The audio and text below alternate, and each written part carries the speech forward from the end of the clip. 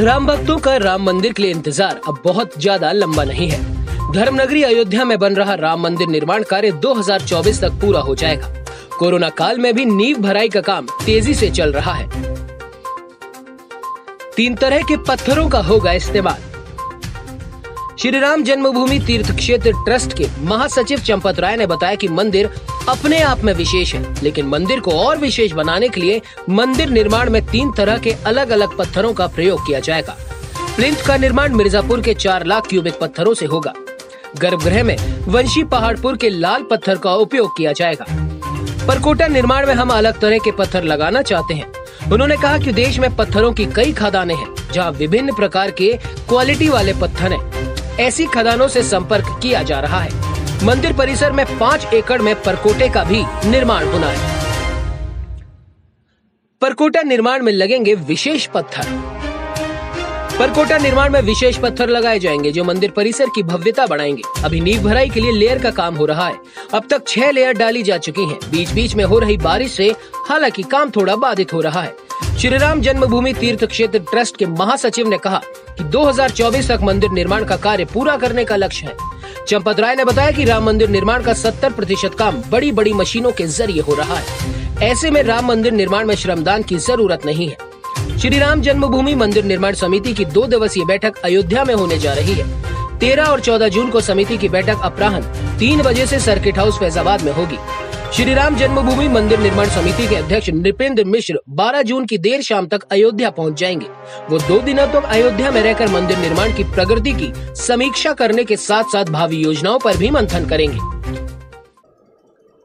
400 feet लंबा, तीन feet 300 feet चौड़े क्षेत्र में लगभग मैं गया तो नहीं हूँ, लेकिन हो सकता है छः लेयर अब तक पड़ चुकी हैं।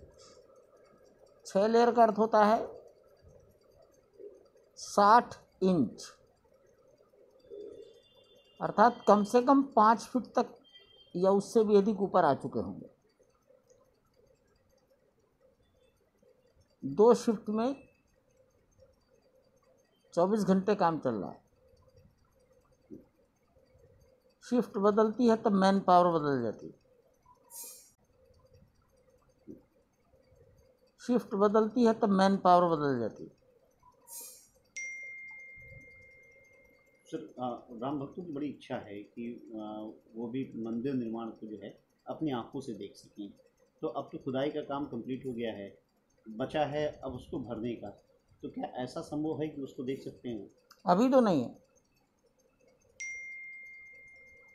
अभी नहीं है।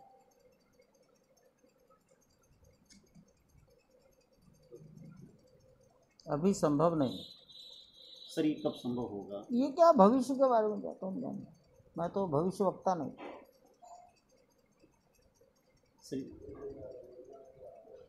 बहुत सारे ऐसे राम भक्त हैं सर वो अपना श्रमदान भी करना चाहते हैं। तो उसकी कोई संभावना नहीं है। मैं उनसे हाथ जोड़कर क्षमा चाहता हूँ। बस अपने गाँव मोहल्ले में कोई अच्छा काम करो श्रमदान करो। भगवान को समर्पित कर दो। सर दूसरा जो प्लिंथ जो बनना है प्लिंथ के लिए जो लाल पत्थर आएँगे मिर्ज़ापुर से तो सर वो मिर्ज़ापुर की जो पत्थर है उसको कितना बड़ा पत्थर होगा? कैसा पत्थर अभी ये सब तकनीकी बातें। अभी आएँगे आएँगे आया नहीं। तो जब आएँगे तो उसका डायमेंशन लंबाई चौड़ाई मोटाई सब तय हो जाएगी? उसको क्या है उसको करना तो उनका काम है। वो केवल हमें बता देंगे हमने इतना डायमेंशन तय किया। सर कितना पत्थर यूज़ हो जाएगा अगर नहीं नहीं एकदम कुछ भी कहना बहुत कठिन लगभग एक सर आंकड़ा तो बना होगा। हाँ बना है। तीन अलग अलग प्रकार का पत्थर होगा तो कम से कम तीनों जगह चार चार लाख क्यूबिक फीट आ सकता है। और कभी कुछ ये सब आकलन है आकलन तो आकलन है। पेपर वर्क है वो सब। सर जैसे प्लिंथ बन गई प्लिंथ बनने के बाद फिर जो पिंक स्टोन पत्थर है राजस्थान का बंसी पहाड़ वो बहुत अभी समय लगेगा। प्लिंथ में तो मिर्जापुर के पत्थर लगेंगे सर? हाँ। अभी आप बता रहे तीन प्रकार के पत्थर हैं। हाँ परकोटा। परकोटा किससे बनेगा मिर्जापुर के पत्थर नहीं वो कोई तीसरा पत्थर सोचेंगे। अभी उसका तय नहीं हुआ क्या तय करना? बातें चल रही हैं उनको बहुत सारा। छः महीने पहले से क्या तय करना? पत्थर से बनेगा अब पत्थर से बनेगा और क्या? सर निधि समर्पण अभियान को लेकर जो ऑडिट अयोध्या में होती है तो दो महीने में दो बार दिल्ली भी होती है। ऑनलाइन भी होती है। मैं ऑनलाइन जाता हूँ कभी कभी इस तरह के कामों में कंटिन्यूस फॉलोअप होता रहता है।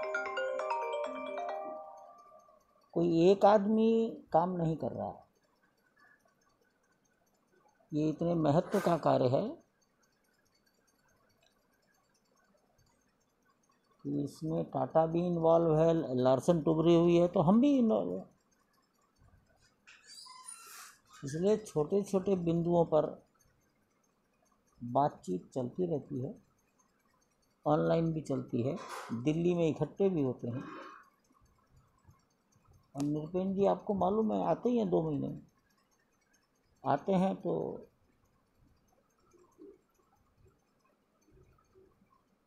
सबको सामूहिक मिलते हैं, अकेले अकेले ही मिलते हैं। साइट सर्वे भी करते हैं। ये कोई पहली बार तो नहीं हो रहा?